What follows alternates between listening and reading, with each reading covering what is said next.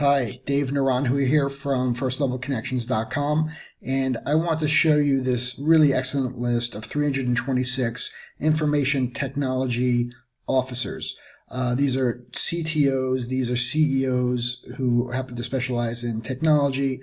These are uh, directors of the technology technology divisions in their company. Um, 99% of these people are based in the United States. Um, the, these these records are actually a byproduct of the full service lead generation campaigns that we do for our clients. So these are actually downloaded um, directly off LinkedIn.